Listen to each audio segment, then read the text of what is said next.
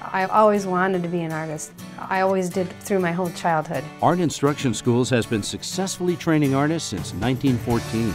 They made me draw and paint things I might have not done, but that was good for me.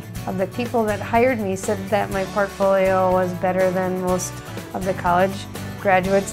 So if you'd like to become a better artist, take the first step.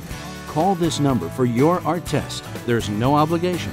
You must be 18 years or older to call.